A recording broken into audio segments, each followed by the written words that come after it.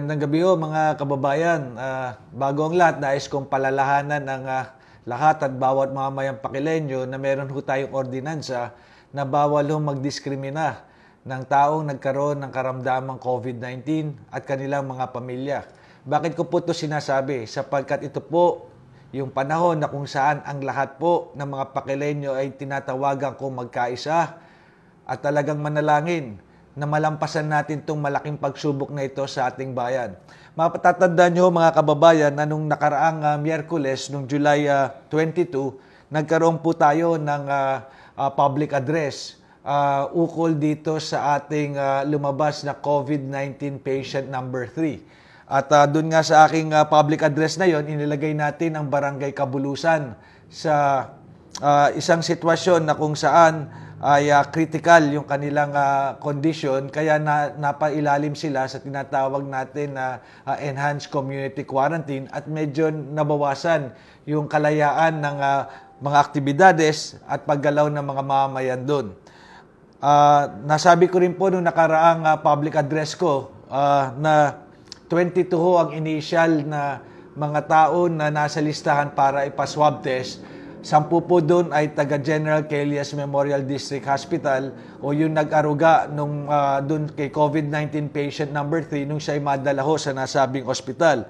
At labing dalawa ho yung uh, iba pang may mga di- nagkaroon ng direktang contact kay COVID-19 patient number 3. At uh, kanina po ay lumabas na po yung resulta noong uh, sampu na nagpa-swab test ng mga taga-hospital natin, taga General Kellyas Memorial District Hospital. At yan po ang dahilan kung bakit uh, nagpatawag ako ng isang emergency meeting sa bumubuo po ng ating Municipal Task Force on COVID-19. Uh, ah, upang pagtalakayan no, ang naging kaso nitong uh, si COVID-19 patient number 3 at yung mga ginagawa kong contact tracing ng ating Rural Health Unit. Uh, Nakakalungkot po sapagkat ibinalita sa atin na sa sampu na nagpa-swab test, lumabas na ho yung resulta ng pito at lahat po yun sila ay nagpositibo. At sa pito po na nagpositibo, apat po ay kababayan natin uh, dito sa bayan ng Pakil. Ibig pong sabihin, mula sa zero na aktibong kaso ng COVID-19, ngayong araw na ito, bigla ho tayo nagkaroon ng apat na aktibong kaso ng COVID-19. Sino po yung mga taong to? Hanggang ngayon po ay hindi ko pa huhawak yung detalye ng mga taong nagpositibo sa COVID-19. Nais ko lang ho ipaalam sa inyo na kanina umaga ay nakipag-ugnayan na po ako sa mga dapat uh, uh, kausapin para bigyan tayo ng uh, mga detalye nitong mga nagpositibo na ito sa sakit na COVID-19. Subalit hanggang kanina po ay kami ay naghihintay datapwat uh, tinawagan na po ako ng uh, Chief of Hospital na dyan sa San Pablo City District Hospital kung saan ginawa yung swab test uh, sa Laguna Molecular Laboratory at sinabi ngang pito nga, kinonfirm niya na, uh, na pito ang nagpositibo sa sakit na COVID-19. Hanggang ngayon po ay hindi pa rin tayo binibigyan ng kopya kung sino-sino ang mga ito. Ang malinaw lamang po ay uh, apat to dun sa pito na nag uh, na nagpa-swab test ay mga taga bayan ng Pakil.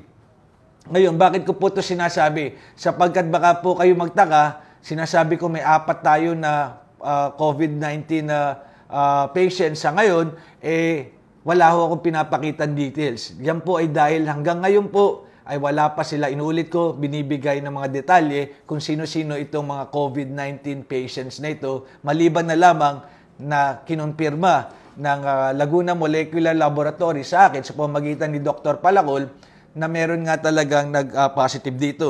Tinawagan ko rin po ang uh, nakipag-ugnayan po tayo sa hepe ng uh, General Kellyas Memorial District Hospital. Kinumpirma niya uh, na meron po tayo na apat nga na mga kababayan at sinasabi nga niya na tama ang sinabi ni Dr. Palacol ng San Pablo City District Hospital na pito nga yung nagpositibo, tatlo doon ay taga-ibang bayan. Subalit, hihintayin pa daw ho namin kung ano ho yung uh, i, uh, ibibigay ng mga detalye ng Provincial Emergency Surveillance Unit, PESU.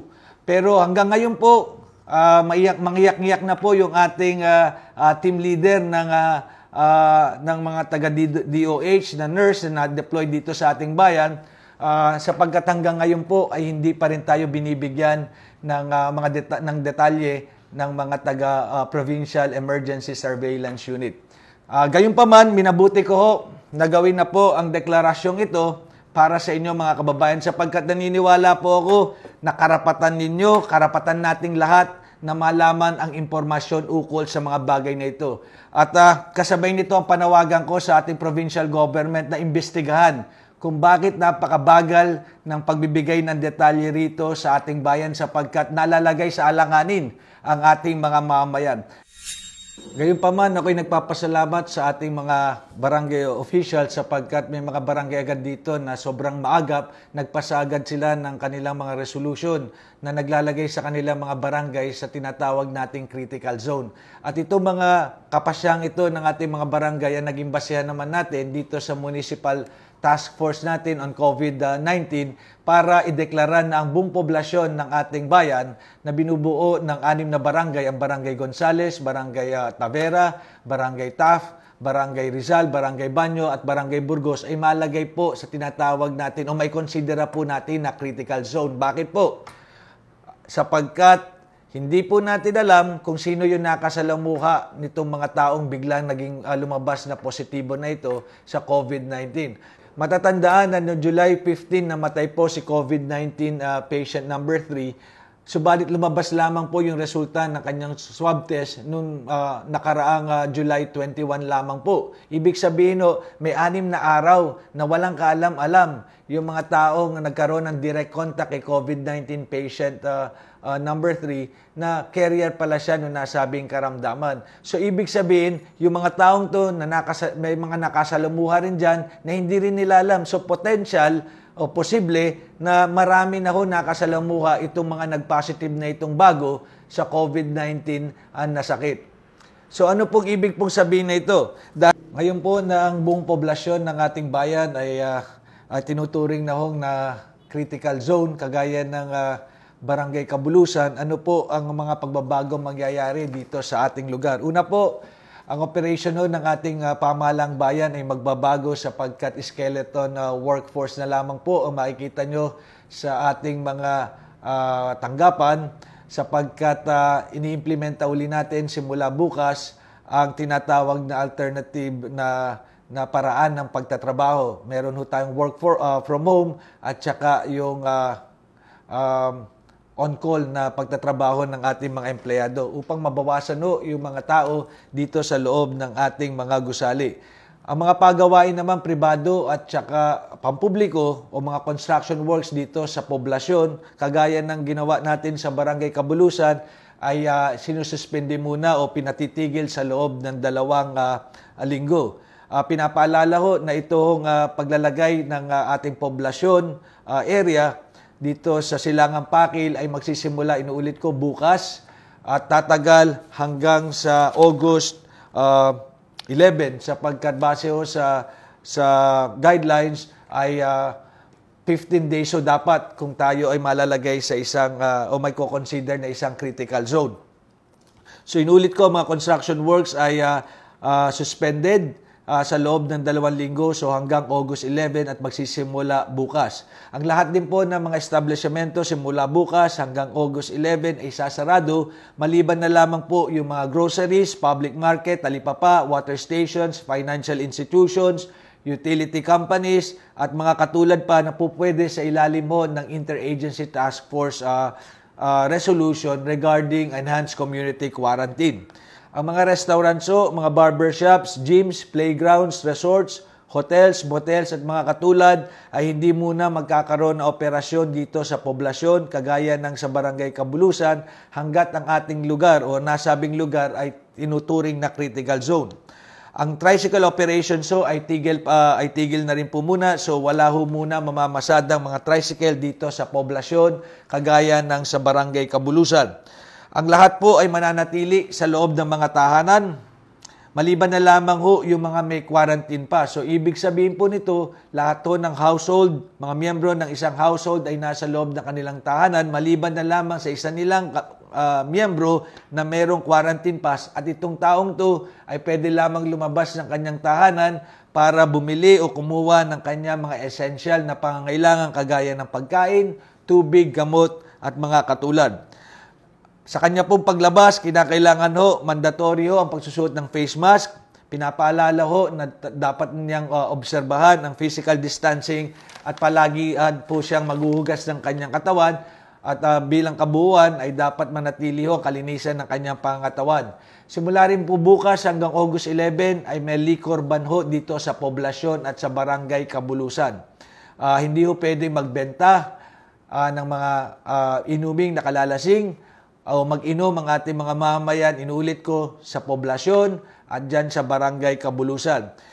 Muli ho nating ilalatag ang curfew hours natin sa poblasyon kagaya ng sa Kabulusan. Simula po bukas ay uh, balik na po muna tayo mula alas 7 ng gabi hanggang alas 5 ng umaga ng susunod na araw. Hindi ho pwede lumabas kahit na sino maliban na lamang po yung talagang kinakailangan lumabas dahil meron ng emergency kinakailangan bigyan ng katugunan.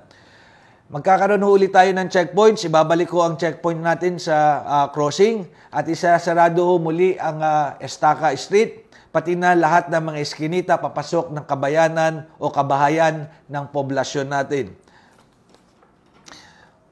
Ngayon po, uh, papaalala po sa lahat na lahat to ng pagbabagong ito sa aktibidades at uh, mga gawain dito sa poblasyon, kagaya ho nun sa Kabulusan, ay magsisimula sa bukas, July 28 at magtatapos ng uh, August 11. Paano naman po ang sa Barangay Kabulusan? Since nauna na po sila nagsimula noong July uh, 23 uh, hanggang uh, August 6 lamang po ang pagsasailalim natin sa Barangay Kabulusan uh, uh, bilang isang uh, critical zone area. Muli po, ako'y nananawagan sa lahat ng ating mga kababayan, lalo na dito sa poblasyon at sa Barangay Kabulusan. Wala hong may kagustuhan na mangyari ito uh, wala hong sisiyan. Hindi to yung panahon ng uh, silipan kung sino may sala sa nangyaring ito sa ating uh, bayan. Ang kailangan po natin, inuulit ko, kagaya ng sinabi ko kanina, ay ang pagkakaisa ng bawat isa.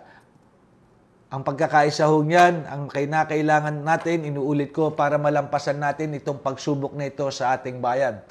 Gayunpaman, ako'y nananawagan sa ating uh, provincial government, kagaya ng sinabi ko rin kanina, na imbestigahan bakit napakabagal ng pagbibigay sa atin ng detalye ng mga tao na nagpositibo sa sakit na COVID-19.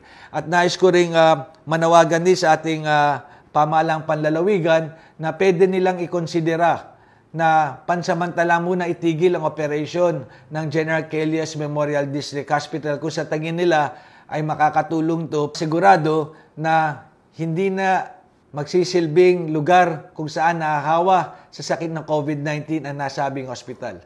Maraming maraming salamat po at mabuhay ang bayan ng Pakil.